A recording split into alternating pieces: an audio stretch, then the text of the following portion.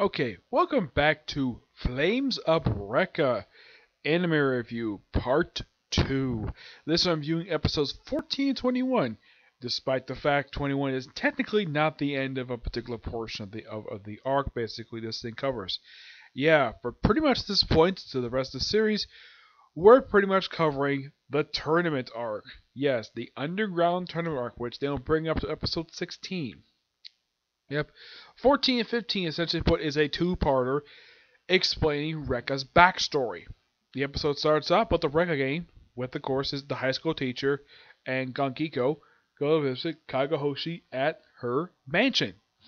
Now, when I heard about this, I was like, okay, is this some grand like Japanese style mansion? No, not really. How they get to is quite interesting. They basically find a Jesuit statue, basically told by telepathy turn the thing counterclockwise.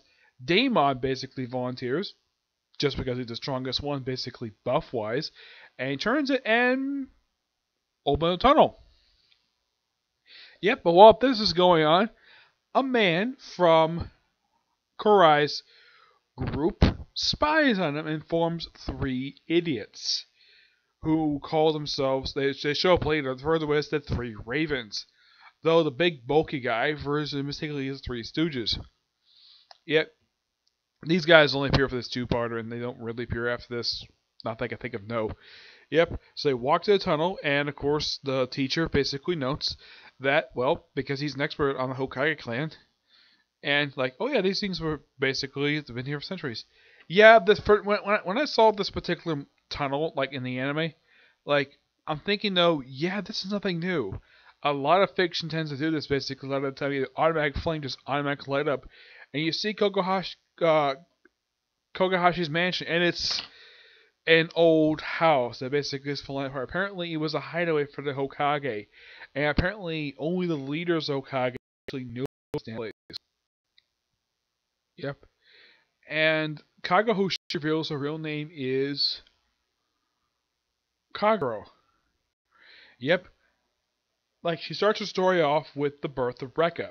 Yep, where she basically gives birth to Recca, uh, and it basically is his father, who's actually the 26th leader of the Hokage clan.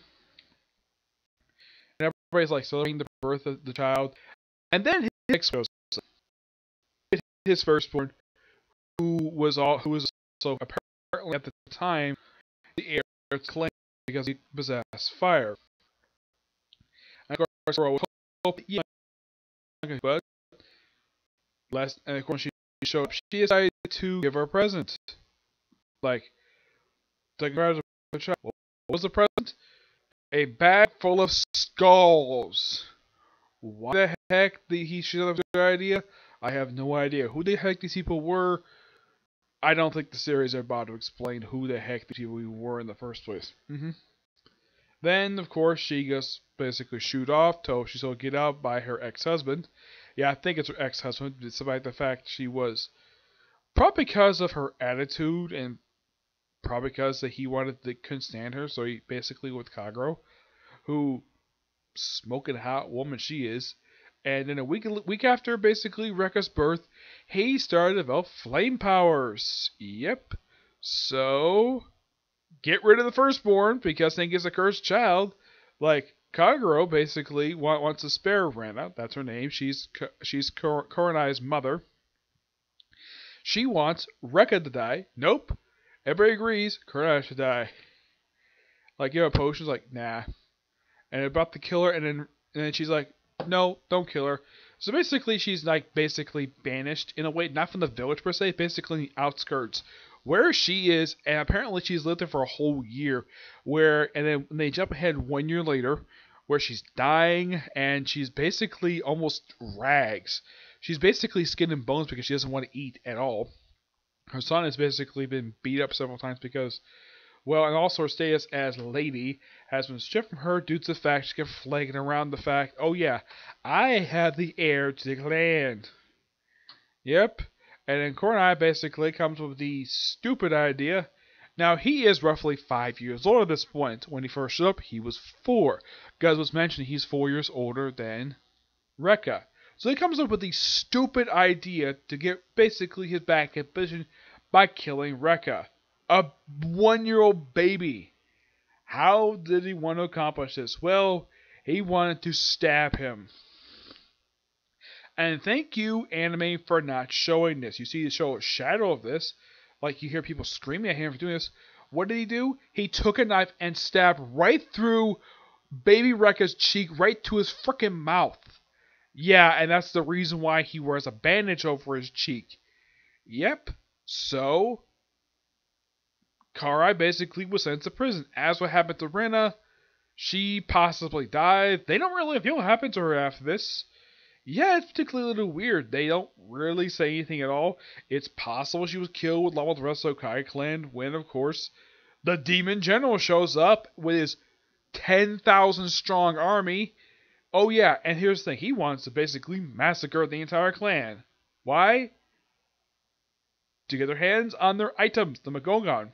So, Lear's like, okay, they want us so badly because they can figure though if they even if they take a good number of them, they would kill them with their arrows. So he would go leave them all behind, keep them all protected, and they fight basically with their regular ninja arms, and they get pretty much all slaughtered anyways. Lear's the only actually able to fight where he's killed with basically eh, he's basically fired upon with about half a dozen arrows getting to him, and then a freaking spear takes him out. Oh yeah, it's mentioned by Kagero that she he was actually 32 when he died. So that means when Recca was born, he was 31. So that kind of means also that when his first born was, when Kurenai was born, that means he was 27 when he was born. Yep. So yeah, so she basically decided to want to save Recca, so she activated a forbidden spell taught to her by one of the elders of the village, who was kind of a mentor to Recca's biological father. So, she activated a time spell to send 400 years in the future. Yep. As what happens next point after that, that's not explained to our next episode. And of course, Coronat had to fall into the future. Though they have two different places, as explained in the following episode, that Recca ended up with the man who raised him, who was a fireworks maker, and of course, Coronat ended up with the evil the evil rich man who was pretty much the main villain of the series and became his adopted son. Mm-hmm. Yep. Though it's never explained what gave, what gave him the idea to have more earrings. Now, I get the whole earring thing. Why the purple lipstick? I have no idea. Are we implying this character might be gay? I have no idea. Even after the whole story is finished, and of course Recca is of course mad about it, the three idiots show up and the one who basically has wings. Recca pretty much wipes the floor with him. Daemon goes after the big bulky guy, and Fuko goes after the other guy, and they beat him really easily. And of course, they take the Magogon. Yeah, they take all their weapons, and then of course, well, they decided to do some training after this. Get stronger with, who knows, they might come back. So Recca and the princess decide they go off to a different place so he can basically train, basically control his dragons. Daemon basically is just back up his things, though his mother is like, "Hey, get down here." It's like I don't want to help. And then of course, t- uh, someone shows up and say, "Can go up there and basically hit my hit my idiot son?" yeah, and and then of course they get up there, and who the people show up? Why, it's Gunko and Fuko. Yep. And Fuko basically hits Daemon head. It's like, what'd you do that for? Auntie told me to. it's something though he calls Damon's mother Auntie. He also calls she also calls later on she calls Fuko Auntie as well. Probably because well, older. I would I wouldn't I would think it'd be better to call her Big Sis because she's not that much older than Gunko, maybe about ten years, not like thirty like the other one. Mm-hmm. Well, I'm sure Damon's mother has no problem with, Gun- with Gunko because she's an adorable little girl. I think she's roughly about six or seven. I'm not sure exactly how old she is. So basically, Pax things like goes to train. He's like, "Where are you to train?" Okay, he doesn't really know. So Fuko volunteers to train with him, and they go to the woods, train together, and have two of the weapons taken from those two idiot, from those three idiots. They take the claw and some other and a big like hook and like hook and chain and so they go to the mountains and do some training. And this lasts for about one episode, the whole training thing. And then basically a dog shows up as a messenger to invite them to the underground tournament. Yeah, this is set up in a previous scene by the main villain of the series. I don't remember the guy's name. Where he's uh, he's basically an evil businessman who basically wants to control the world and rule and uses money while he's basically alive. He wants eternal life. He thinks that he thinks Princess basically has that power. All she can do is heal people. She can't exactly grab people for someone eternal life. Yep.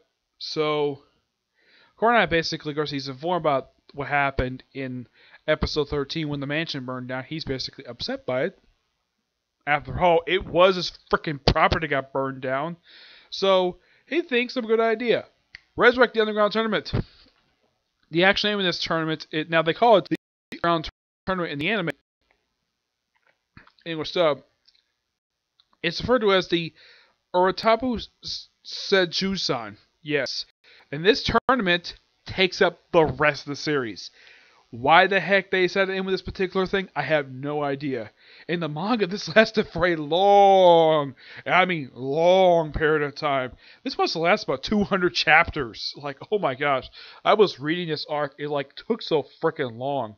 Like, okay, they basically, now, when they meet for this tournament, they basically, Dama Fuka basically got stronger.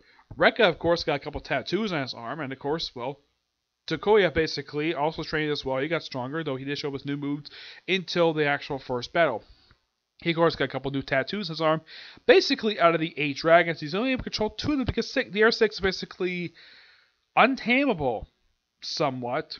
Though he's able to do hand signs now, which, okay, that's interesting. Which makes it the third or fourth series I've seen we have a character doing hand signs. The only other series I've seen actually you see a character do this would use like hand signs. I've seen it not only for this series, they did it for Naruto, Naruto Shippuden, Seven Deadly Sins, and I think that's it. That's the only series I could think of where they actually do hand signs. Mm-hmm. I'm trying to think though. I don't think there's any other series I've watched where you see characters doing hand signs. Mm-hmm. Ah, no. I can't think of any. Not, not I've watched. I know Bleach and had it because they ever used freaking swords. Yep. And I know for a fact it didn't happen in One Piece. So I know it didn't happen there. What about Fairy Tail? Well, not really, no. I mean, you have Levy who does a little thing with the brush thing as script art, but that's not hand signs. Yeah, so it's great we see a series of characters who hand sign. So he's able to take out the the drag, the dog, no problem, and take out two members of Kurenai's assassination squad, who Gunko basically recognizes right away, and they're there just to deliver a message, and they get away no problem. So they participate in the tournament, and then the tournament begins the very next episode. Though it's more like a prelude to the tournament as well. So they volunteer and they offer a prize. So what's the prize that the man offer up? The princess because of the healing powers she has. Like they they jokingly think, oh yeah, what about Fuko's breast or cook the cookies? Like no, it's basically the princess, and she of course agrees to it. Now Gunko shows up too. Yeah, despite the fact originally in the manga she actually did not show up at all. Yeah, I don't mind this at all. Yes, it's not the first time they actually add a character to an arc that they were not originally there for. Well, in the case of a tournament. They did the same thing in Yu Hakusho, where they swapped out the main character's mother with Kara, with uh, Kuwabara's sister. That probably made a lot more sense, basically, to do than, let's say, the main character's mother, who at that point was about 28, 29. This is probably making a lot more sense. Plus, probably because they're both smokers. Yep. And in the case of this series, well, yeah, it's perfectly fine. Kagero shows up too as a she got a spectator one. Yeah, and also the little boy who was from the previous arc. He gets the invitation too, but you don't see him for a little while. He doesn't show up a bit later when I looked up. But I'll get to the episode probably next review. Mm-hmm. So they sign up, and of course they have a super premiere around having the whole team just take out a bunch of like weak in basically much weak grunts, kind of like the start of the previous arc where they basically storm the mansion and take a bunch of weak guys and spend about two minutes. And then they go in, and then episode 18 begins the actual matches. First match Tagoya versus a guy versus has his match. His match lasts for about two episodes. Mm-hmm. Though he's able to defeat his opponent at toward the about halfway through the second episode, episode 19. Excuse me. And then Fuko starts here her fight with a guy who's somewhat of a pervert and a very evil individual. Yep. Yeah. At one point, he asks her, What's her breast size? She says D cup and a rocking body. He's like, Oh, that makes me interesting. Then he starts slicing up her freaking clothes in the middle of the public. Yep. I mean, she also basically, at one point, takes out Crystal, which is from the claw thing, puts it in her own Magogon, which basically summons wind, forms the claws. You see the the thing around, and despite all the stuff basically she's doing, of course, she at one point she doesn't think flying, eventually gets gets the guy. But not before he basically shreds her down to her underwear to the point where she's basically wearing a strapless bra and a pair of panties. Oh yeah, and her shoes, and that's it. Like, oh my gosh. Eventually he's beaten. Like, yeah, first at one point thing he's beaten, then of course that's when he strips the whole underwear thing. Then he, well, when he does that, that's when he put on put a pair of Freddy Krueger claws. Yeah, I'm not kidding. These, these look like the claws Freddy Krueger uses from the Nightmare on Elm Street series. If you see these things, you'll probably know what I'm talking about. Yep. So he basically shreds her clothes like almost to the point where you can almost see a breast. Though not the first time this has happened to her. Yeah, Recca actually was one burned most her clothes the first, in her, in technically her third third episode of the series. At least this time she's actually staying in her underwear this time. Yep, and then you have next match. You have well before they get to that one, they have a brief fight. We have Damon take on his opponent, who at one point was basically like he was Mr. Fantastic with his body's made rubber. Though it turns out it's a Magogon in his mouth. They'll eventually decide to summon his weapon, and then the match basically turns to a draw. So it's basically at this point, by the time Recca starts to fight, it's already like two like two wins and one draw. Not bad. Recca takes on this guy for about two episodes. Like it starts like toward the end of episode 20, and it does wrap up to the end of episode 21, and it's a really good fight. Mhm. Yep. And Oh yeah, of course. Well, before the match starts, he walks over to Fun to Funko, wraps bandage around her arm, and then gives him gives her her basically top half of his outfit as an apology for the idiot for the evil man who had to basically come there because he's basically kind of revealed a little bit of backstory of the school where apparently they're not a group of killers. He has no choice but to kill. And he for the school's reputation he and Recca put on a very good fight throughout this whole throughout episode 21. And then of course Recca comes out with a new move where he basically summons like a big blade out of his, out of his gauntlet. Though first time he, when they show off their basically show off basically the moves, like some of his fireworks, and then he does it and possibly sets up the next team they're gonna fight in the next round. With one one of the people having to be the old man he met back in episode 16. Actually, the experts met back in episode 13. Yep. And of course, this guy basically his power, Sagetsu, I think his name is, right? His name is Sagetsu. I want I want to make sure I get this name right. It is.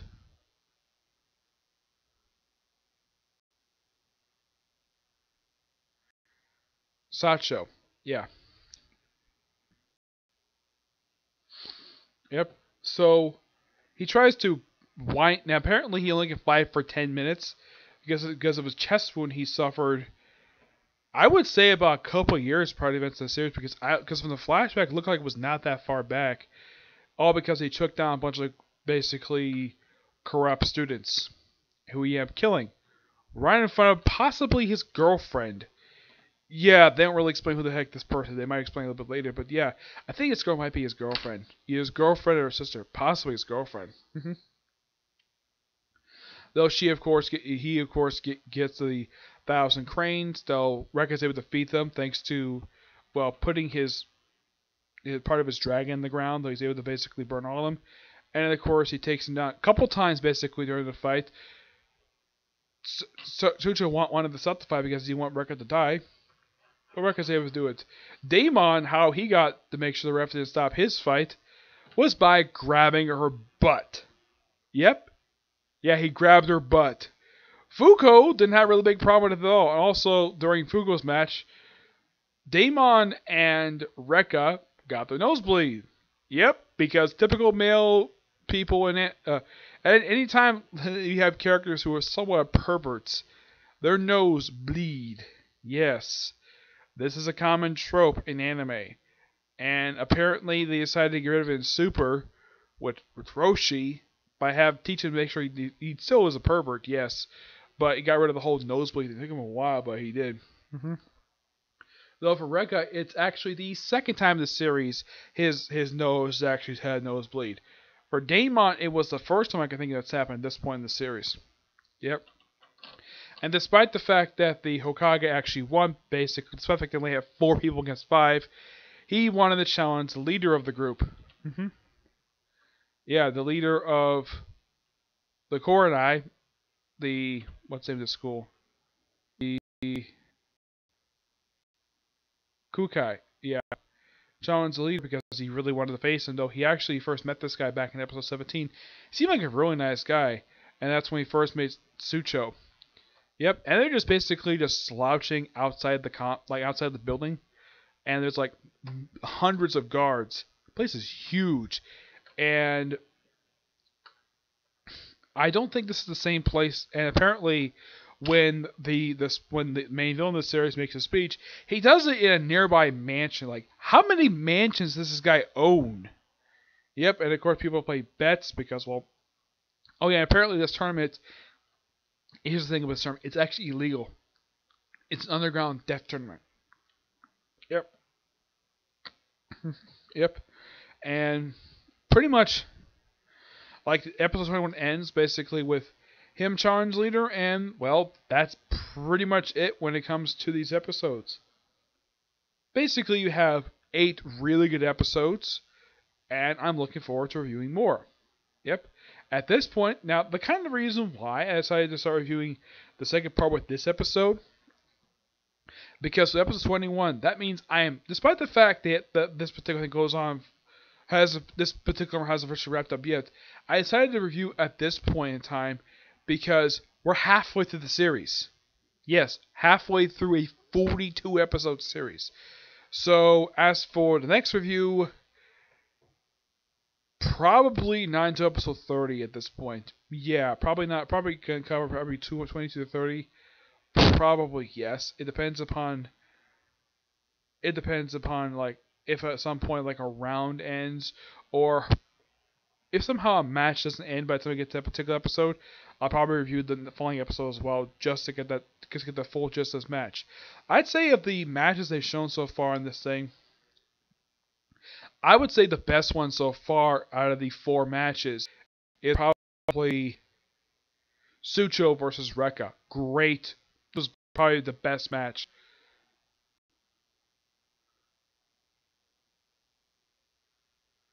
Out of the entire thing. Yeah, as for the other matches, first match was actually pretty okay. Uh, probably by far the oddest match is Fuko's match, but it's not exactly the darkest episode of this. It's not exactly the darkest episode of this particular portion of episodes. No, because she just getting. Yeah, as for having a character who's a pervert, who's a villain, yeah, second time this series has happened, at least that the character entirely stripped down women and of course, the guy was known for that. Though I've heard the guy does come back later. Mm-hmm. Yep, I would say. Probably for some people, if they watch the series, they probably think that episode 20 is probably the most offensive, one of the most offensive series, the whole series, because the fact you have one of the people leads the series being stripped down to her underwear, well, shredded down to her underwear by a perverted, by a perverted fighter. Yeah, and of course, she also called ugly by the guy. Now, Fuko is a beautiful woman, and Damon knows it because he has a thing for her. Though I don't really know if these two basically have. I don't think these two end up together at the end of the series. I know happens with Recca and the princess. Not much happened with Damon and Fuko. I think I think of no.